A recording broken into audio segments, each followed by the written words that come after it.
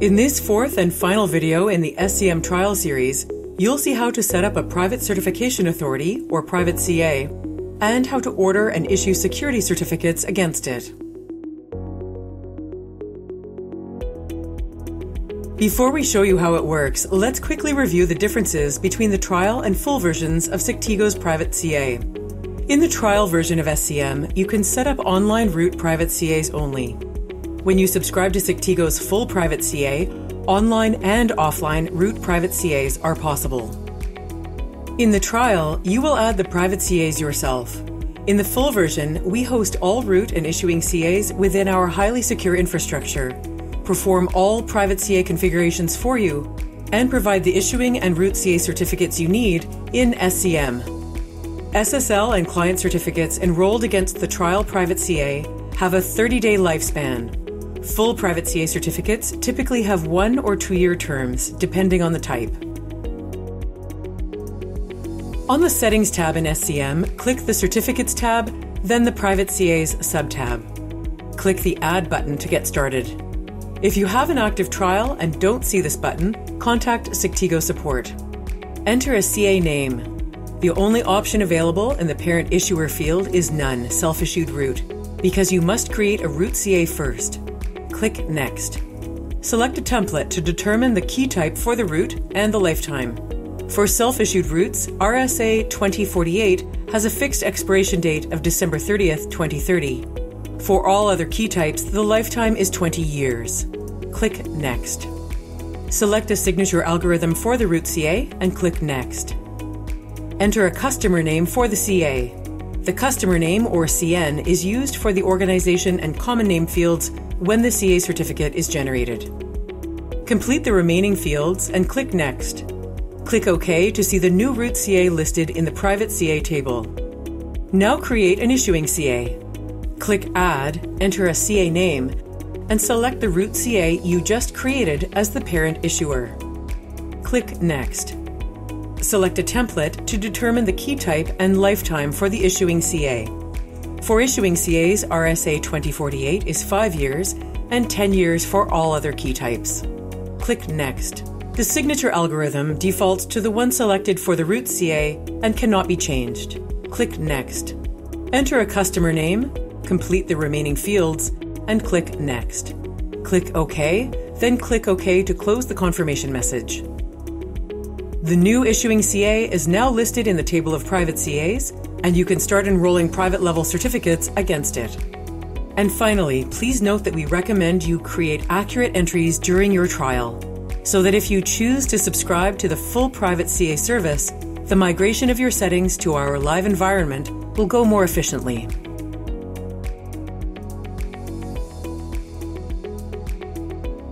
The SCM trial lets you enroll privately trusted certificates against your trial private CA. There are three basic steps. Set up certificate profiles for your private CA, request a certificate with that certificate profile, and finally, approve the request so the certificate can be issued. So, what are certificate profiles? SCM provides a selection of certificate templates as a starting point. Simply customize these templates to create certificate profiles tailored to meet your specific needs. You can usually specify, for example, the issuing CA, if it's public or private, although only private is allowed for the trial, the term length, and what organization and department admins can request that type of certificate profile. The SCM trial allows you to add or edit certificate profiles for all four certificate types supported by Sectigo SSL, client, code signing, and device. For this demonstration, we'll look at adding an SSL certificate profile for your trial private CA. On the Settings tab in SCM, click Certificates, which opens the Certificate Profiles subtab by default. Click Add. On the Add Certificate Profile window, enter a name and description. In the Enrolling Backend field, the only option available is Sectigo Private CA because you are working in the trial version. Notice your choice here also determines whether the trust level is set to public or private. In the full version, of course, you can choose any private or public CA configured in your SCM. Now select your certificate type. Note that setting up SSL, client, and code signing certificates is basically the same, but in this demonstration, we'll select SSL. In the trial, the certificate template and term fields default to the limited options available for the trial. In the full SCM, however, there are typically several options here. The remaining fields can be left at the default values. Click OK. You can now see the new certificate profile in your list and continue creating as many as you need. There are two things you need before you order a trial SSL certificate. The first is an SSL certificate profile, which you just saw how to set up. The second thing is a certificate signing request or CSR, but if you're familiar with SSL certificates, you already know this. In SCM, CSRs must be at least 2048 bit. As soon as you've got these two things, you're ready to order. For more information about CSRs, refer to the Sectigo Certificate Manager Trial Quick Start Guide. On the Certificates tab, make sure the SSL Certificates subtab is selected, then click Add.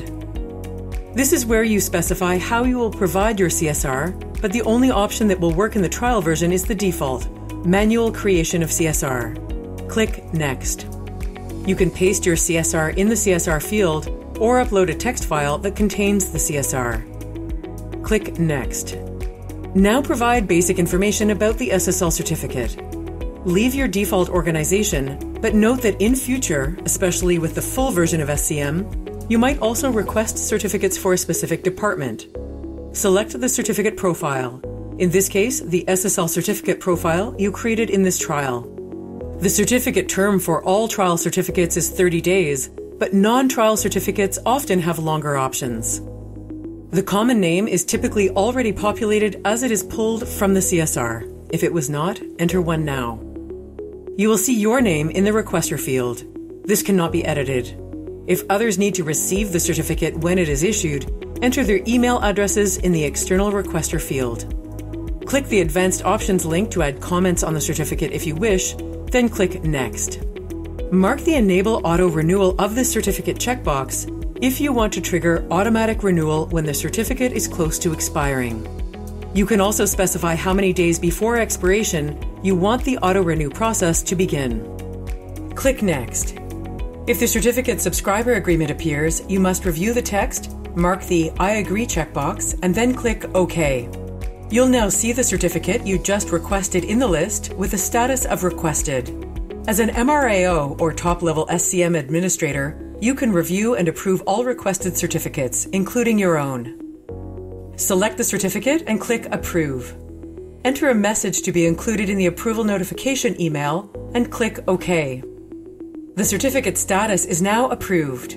Very soon it changes to Issued, color coded green to indicate the certificate was ordered from the SCM. The issued status also means the certificate collection email has been sent to the applicant.